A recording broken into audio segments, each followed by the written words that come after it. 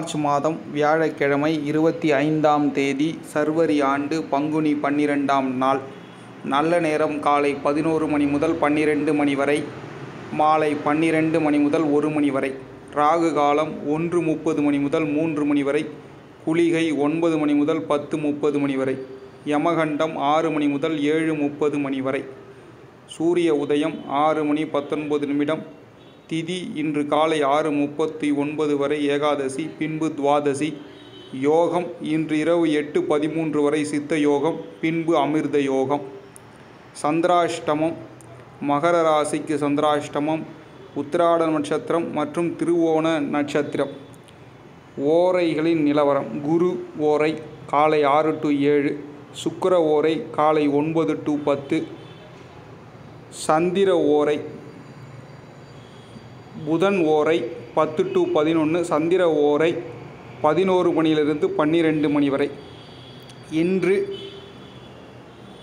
ஒரு முக்கிய முடிவுகள் எடுப்பதாக இருந்தால் கோவிலுக்கு செல்பவர்கள செல்பவர்களாக இருந்தால் இந்த நேரத்தில் சென்றால் மிகப்பெரிய நன்மைகள் அதிக அளவில் நடக்கும்.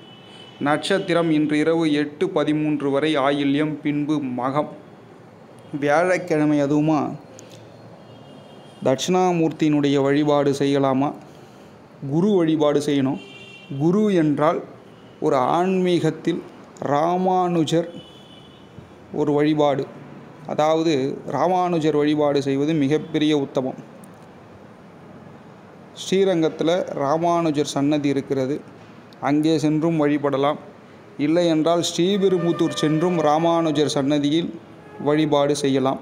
பக்கத்தில் இருக்கிற ஆலயங்களுக்கு சென்றும் ராமானுஜர் வழிபாடும் அல்லது குருமார்கள் வழிபாடு செய்வது சித்தர்கள் வழிபாடு செய்வது மிகப்பெரிய உத்தமம். கிரக நிலைகளின் நிலவரம். ரிஷபத்தில் செவ்வாய் ராகு கடகத்தில் சந்திரன் விருச்சிகத்தில் கேது மகரத்தில் குரு சனி மீனத்தில் சூரியன் சுக்ரன் புதன். இன்றைய ராசி பலன்களை காணலாம். மேஷ ராசி அன்பர்களே தொழில் தொடர்பான முக்கியமான பிரதிநிதிகளின் ஆதரவு கிடைக்கப் பெறுவீர்கள். சொத்து பிரிவினையின் போது பங்காளியரிடம் அமைதியை கடைபிடிக்கவும் எதிர்வாத திறமையால் லாபம் அடைவீர்கள். குடும்ப உறுப்பினர்களின் தேவைகளை பூர்த்தி செய்வீர்கள். திறமைக்கேற்ப வேலை வாய்ப்புகள் கிடைக்கப் பெறுவீர்கள். மேஷராசி என்பர்கள் ஒரு முக்கியமான நாள் என்னவென்றால் தன வரவு கிடைக்கும். அதற்கப்புறம் மேற்படிப்பு சம்பந்தமான சில சந்தேகங்கள் தீர்க்கின்ற ஒரு நாளாக தென்படுகிறது. நன்மைகள் அதிக அளவில் நடக்கும். அதிர்ஷ திசை தெற்கு எண் எட்டு அஸ்வினி பரணி கிருத்திகை நட்சத்திரக்காரர்களுக்கு ஆதரவு கிடைக்கப் பெறுவீர்கள். ரிஷபராசி அன்பர்களே மனதில் இருந்து வந்த கவலைகள் குறையும். குடும்ப உறுப்பினர்களின் மூலம் மகிழ்ச்சியான தருணங்கள் உண்டாகும். உயரதிகாரிகளிடம் பொறுமையை கடைபிடிக்கவும் நண்பர்களின் ஆதரவின் மூலம் பொருளாதாரம் சார்ந்த இன்னல்கள் குறையும். மற்றவர்கள் பற்றிய கருத்துக்களை நீங்கள் தவிர்க்க வேண்டும். நன்மைகள் அதிகளவில் நடக்கக்கூடிய ஒரு நாளாக தென்படுகிறது. ரிஷபராசி அன்பர்கள் வெளிநாடு செல்லக்கூடிய யோகம் இருப்பதால் வெளியூர் செல்லக்கூடிய யோகம் இருப்பதால் நீங்கள் ஜாக்கிரதையாக இருப்பது ஒரு மிகப்பெரிய அவசியம். அதிர்ஷ திசை கிழக்கு எண் ஒன்பது. கிருத்திகை ரோகிணி மிருகசீரிஷ நட்சத்திரக்காரர்களுக்கு கவலைகள் குறைகின்ற ஒரு நல்ல நாள். ரிஷபராசி அன்பர்கள் திருமண வயதில் இருந்தால் திருமணம் நிச்சயிக்கப்படும். அப்படி திருமணம் நிச்சயிக்கப்படவில்லை. சில தடங்கல்கள் வருகிறது என்றால் காளஹஸ்தி சென்று ஞாயிற்றுக்கிழமை நான்கு முப்பது முதல் ஆறு மணிக்குள்ளாக பரிகாரம்லாம் ஒன்றும் கிடையாது. அந்த நேரத்தில் காளஹஸ்தீஸ்வரரை தரிசனம் செய்து வர வேண்டும். அப்படி செய்து வருகிற பொழுது சில தடங்கல்கள் நிவர்த்தியாகும் என்பது ஐதீகம். அதை நீங்கள் புரிந்து கொள்ள வேண்டும். மிதுன ராசி அன்பர்களே மற்றவர்களின் வேலைகளை கொடுக்காமல் தாங்களே முடிப்பது சிறப்பு. அதாவது அவங்கக்கிட்ட வேலையெல்லாம் கொடுத்து நீங்கள் வேலை வாங்காமல் உங்களுடைய வேலையை நீங்களே செய்து கொள்வது சாலச் சிறந்தது. வீண் அலைச்சல்களால் உடல் சோர்வு உண்டாகும். எதிர்பாராத பொருள் வரவு ஏற்படும். கேளிக்கைகளில் ஈடுபட்டு மனமகிழ்வீர்கள். சமயோஜித பேச்சுக்களால் காரிய சித்தி அடைவீர்கள். மனதில் அவ்வப்போது பழைய நினைவுகள் ஏற்பட்டு மறையும். இதனால் தேவையில்லாத சில சங்கடங்களை நீங்கள் சந்திக்கக்கூடிய நாளாக தென்படுகிறது. அதிர்ஷ்ட திசை வடக்கு எண் ஆறு. மிருகசிரிஷம் திருவாதிரை புனர்பூச நட்சத்திரக்காரர்களுக்கு சோர்வு உண்டாகும். கடகராசி என்பர்களே அறிந்த கலைகளால் தனலாபம் ஏற்பட்டு மகிழ்ச்சி அடைவீர்கள். உயர் அதிகாரிகளினால் சாதகமான பலன்கள் உண்டாகும். அந்நியர்களின் மூலம் பொருளாதார முன்னேற்றம் ஏற்படும். மனதில் இருந்து வந்த கவலைகள் நீங்கி மகிழ்ச்சி உண்டாகும். மாணவர்களுக்கு வெளியூர் தொடர்பான பயண வாய்ப்புகள் அமையும். அதிர்ஷ்ட திசை மேற்கு எண் ஐந்து. புனர்பூசம் பூசம் ஆயில்யம் நட்சத்திரக்காரர்களுக்கு முன்னேற்றம் ஏற்படும். கடகராசி அன்பர்கள் ராமர் வழிபாடு செய்வது மிகப்பெரிய உத்தமம். ராமர் கோவிலுக்கான நிதி திரட்டி கொண்டிருக்கிறார்கள். அதில் இப்பொழுது முடிந்திருக்கும் என்று நினைக்கின்றேன். அப்படி இல்லை என்றால் நீங்கள் ராமர் கோவிலுக்கு நூறு ரூபாய் அழியுங்கள். நன்மைகள் அதிக அளவில் நடக்கும். அதிர்ஷ்ட திசை மேற்கு எண் ஐந்து. இந்த மூன்று நட்சத்திரத்தில் ஆயில்யம் நட்சத்திரக்காரர்கள் அந்த ராமபிரானுக்கு கோயில் கட்டுவதற்கான சில உதவிகள் செய்தால் மிகவும் சால சிறந்தது. அதாவது பண உதவி தான் நூறுரூபா அந்த டோக்கன் அதை கொடுங்க. லைஃப் மாறும். சிம்ம ராசி என்பர்கள் மூத்த சகோதரர்கள் அனுகூலமாக நடந்து கொள்வார்கள். வியாபாரம் தொடர்பான வெளியூர் பயணங்களை மேற்கொள்வீர்கள். பணி செய்யும் இடங்களில் கவனமாக இருக்க வேண்டும்.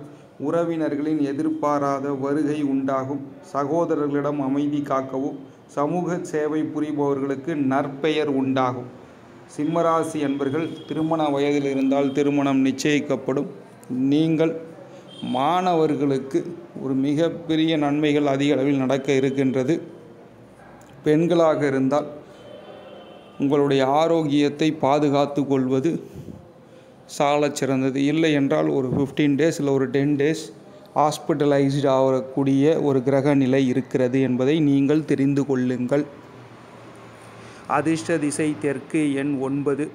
மகம் பூரம் உத்திரம் நட்சத்திரக்காரர்களுக்கு அனுகூலமான நாள் நற்பெயர் உண்டாகும். கன்னியா ராசி அன்பர்களே சொந்த ஊருக்கான பயணங்களை மேற்கொள்வீர்கள். தொழிலில் புதிய இடத்தை அடைவதற்கான லட்சிய கனவுகளை உருவாக்குவீர்கள். சிலருக்கு கௌரவ பொறுப்புகள் கிடைக்கும். உடனிருப்பவர்களின் ஒத்துழைப்பு மேம்படும். வியாபாரத்தில் இருந்து வந்த பிரச்சனைகள் குறைந்து லாபம் கிடைக்கின்ற ஒரு நாளாக தென்படுகிறது. கன்னியா ராசி அன்பர்கள் திருப்பதி சென்று வருவது ஒரு மிகப்பெரிய உங்களுக்கு டென்ஷன் ஃப்ரீயாக இருக்கும். நீங்கள் நினச்சதெல்லாம் நடக்கும். அதிர்ஷ திசை கிழக்கு எண் நான்கு. உத்திரம் அஸ்தம் சித்திரை நட்சத்திரக்காரர்களுக்கு பயணங்கள் மேற்கொள்ளக்கூடிய நாள் பொறுப்புகள் கிடைக்கும். துலாம் ராசி அன்பர்களே எந்த செயலையும் தன்னம்பிக்கையுடன் செய்து முடிப்பீர்கள். பொது சேவையில் ஈடுபடுபவர்கள் அமைதியுடன் செயல்படவும் ஆராய்ச்சி தொடர்பான முயற்சிகளில் சாதகமான முடிவுகள் கிடைக்கப் பெறுவீர்கள். சுபகாரிய பேச்சுவார்த்தைகளில் சற்று நிதானத்தை கடைபிடிப்பது சாலச் சிறந்தது. குடும்ப பிரியவர்களிடம் பொறுமையுடன் நடந்து கொள்ள வேண்டும். துலாம் ராசி அன்பர்கள் தேவையில்லாத விஷயங்களில் தலையிட்டு உங்களுக்கு அதன் மூலம் சில பிரச்சனைகள் வரக்கூடிய நாளாக தென்படுகிறது. வேலை வந்து இப்போது டைம் நல்லா இருக்குது அந்த வேலையை நீங்களே கெடுத்துப்பீங்க. அது மாதிரியான ஒரு கிரக சூழல் உங்கள் பிரச்சனையே உங்கள் வாய் தான் தேவையில்லாதையெல்லாம் பேசிவிட்டு மாட்டிக்கொள்ளக்கூடிய ஒரு நாளாக தென்படுகிறது. அதிர்ஷ்ட திசை வடக்கு எண் ஏழு. சித்திரை சுவாதி விசாக நட்சத்திரக்காரர்களுக்கு பொறுமை வேண்டும். தேவையற்றதை விடுத்து நன்மைகளை மட்டும் நினையுங்கள். விருச்சிக ராசி அன்பர்களே எண்ணிய செயல்கள் ஈடேறுவதில் மந்தத்தன்மை ஏற்படும். வீண் வாக்குவாதங்களை தவிர்ப்பது நல்லது. பணி தொடர்பான செயல்பாடுகளில் மனக்குழப்பத்துடன் காணப்படுவீர்கள். பணம் கொடுக்கல் வாங்கல் விவகாரங்களில் கவனம் வேண்டும். அதிர்ஷ்ட திசை தெற்கு எண் நான்கு. விருச்சிகராசி அன்பர்கள் முடிந்தால் ஸ்ரீவில்லிபுத்தூர் சென்று ஆண்டாளை தரிசனம் செய்வதும் அங்கேருந்து திருவண்ணாமலைன்ற ஒரு ஊர் இருக்குது அங்கே பக்கத்தில் இருக்கிற பெருமாள் கோவிலில் பெருமாளை தரிசனம் செய்வதும் சாலச் சிறந்தது. விசாக மனுஷம் கேட்டை நட்சத்திரக்காரர்களுக்கு மந்தமான நாள். கேட்டை நட்சத்திரம் என்பா என்றாலே அது வந்து பெருமாள் சம்பந்தப்பட்ட நட்சத்திரம். அவர்கள் பழனி முருகனை பிடித்து கொள்வது மிகப்பெரிய ஒரு பாசிட்டிவ் எனர்ஜி லைஃபுக்கு ஒரு வே கிடைக்கும். அதாவது வழி கிடைக்கும். தனுசு ராசி அன்பர்களே நண்பர்களின் ஒத்துழைப்பால் மேன்மை உண்டாகும்.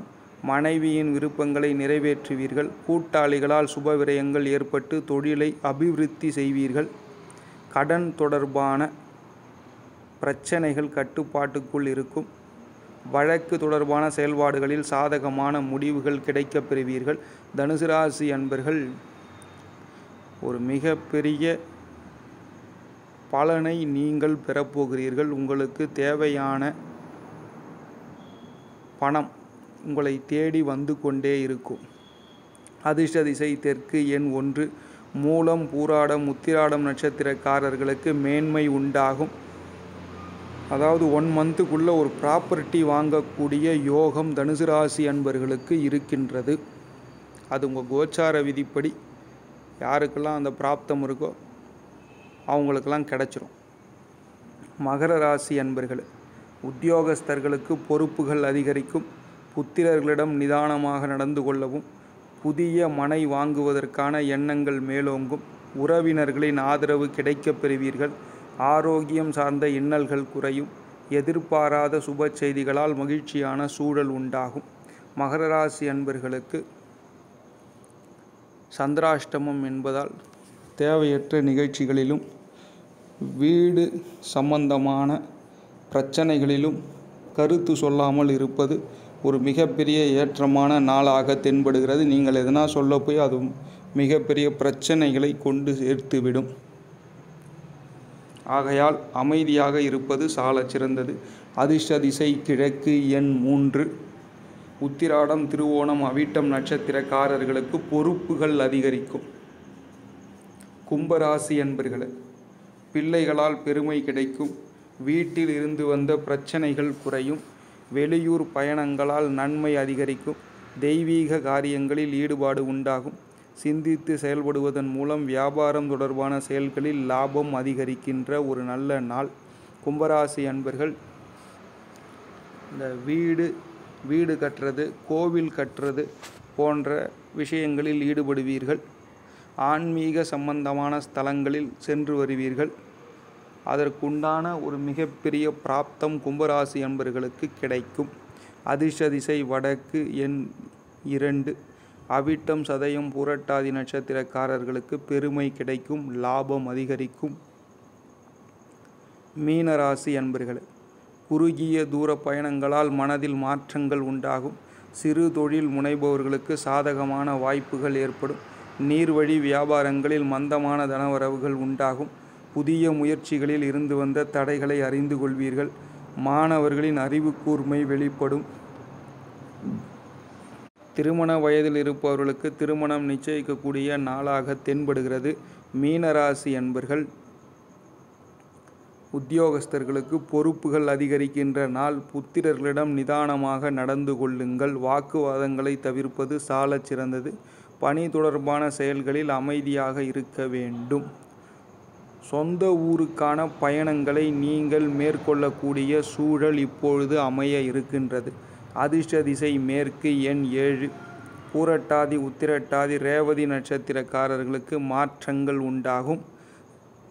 ரேவதி நட்சத்திரத்தில் பிறந்தவர்களுக்கு இது ஒரு மிகப்பெரிய அற்புதமான நாள். தன வரவுகள் அதிக அளவில் உங்களுக்கு கிடைக்க காத்திருக்கிறது. ஆகையால் மீனராசி அன்பர்கள் திருச்செந்தூர் சென்று சுப்பிரமணியரை தரிசனம் செய்து வருவதும் உபரி சென்று சுயம்புலிங்கேஸ்வரரை தரிசனம் செய்து வருவது உங்கள் இல்லறத்தை சந்தோஷமாக வைத்திருக்கும்.